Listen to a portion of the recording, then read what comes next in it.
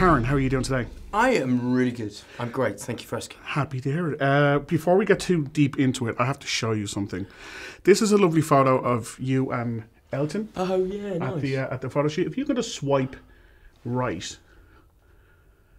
Something I noticed. I've decided to become a ca- your, your own personal casting director. Bono. Is that the next one? I think it should be the next one. I was Wow. shocked because I looked first and I thought it was Elton I and s- Bono. I see what you're saying.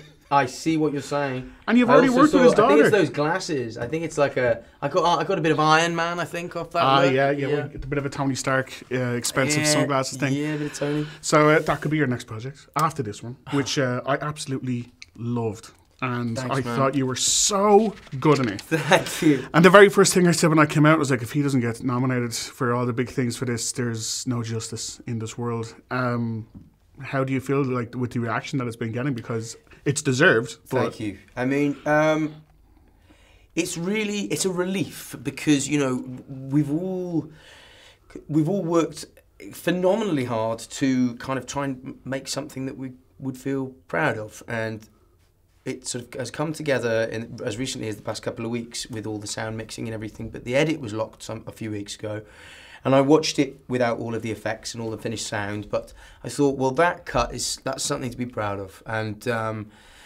and I think had had people not agreed, um, I, I would have thought that maybe I, I could know I had poor judgment. So I, it's really nice to um, to be validated in that way.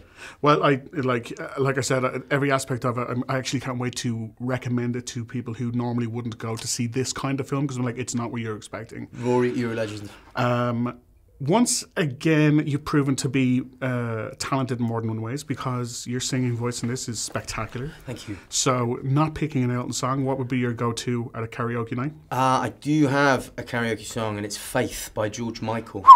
Yeah, That's a that's a that's a pick. That's a choice. it's a pick, and it's uh, it's one that I've done for many many years. So much so that I did when Richard Madden and I did carpool karaoke, I insisted that we include it. and um, uh, yeah, and it's quite fun actually. Check it out. We're quite proud of our carpool. oh, I'll have to absolutely We'll have to check that out. Um, one of the things I, I did notice is in the film is that around that era, when you're looking back at Elton, it was around the same time, I guess, as Freddie. You mentioned George there. Yeah, yeah, uh, there was yeah. a, there was some very strong, uh, iconic characters who like definitely supported the LGBTQ community. Absolutely. Um, but when you look at the landscape today, it's there, there isn't there isn't as many that you'd like absolutely go, or they're one of the biggest stars in the world.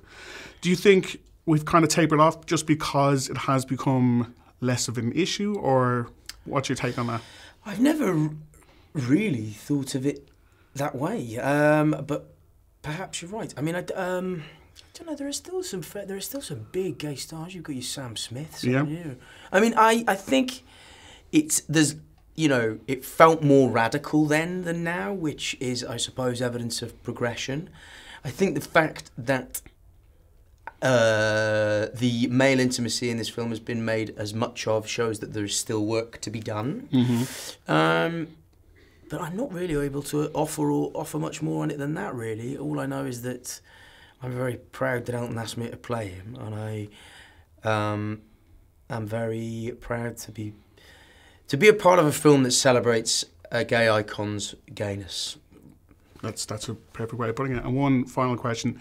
Uh, you were fantastic in the role as Thank Elton, and like I think that speaks to you as an actor. But I think anyone would have a bit of a leg up when they get into those fantastic, fabulous I think you're outfits. right. I Like it's pr- right. practically uh, like RuPaul's Drag Race It's at, at certain points. To, it's hard to be boring in them, It's isn't it? yeah, you can't play that down. Like the second you put Yeah. that on, you look yourself in the mirror. You're like, I am the queen of this. Look, you know, it would. The, I think that so much of Elton's uh, sense of style and fashion sense is about empowerment, and and I certainly felt that way. Whether it be wearing seven-inch heels, horns on my head, or a pair of hot pants, Yeah. these things all make you feel provocative, uh, sexy. Yeah, Um, I'm not sure everyone would agree that me in hot pants are very sexy, but I felt very sexy.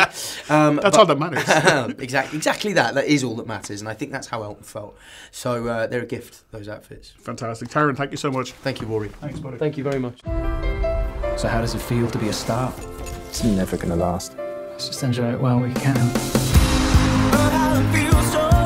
Our sleeping arrangements get out, all of this is gone. I just hope you realise you're choosing a life of being alone forever.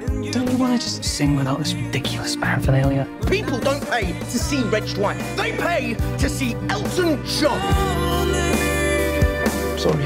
I know.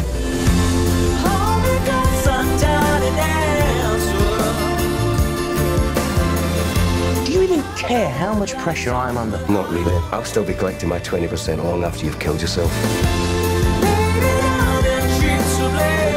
Maybe I should have tried to be more ordinary. You were never ordinary.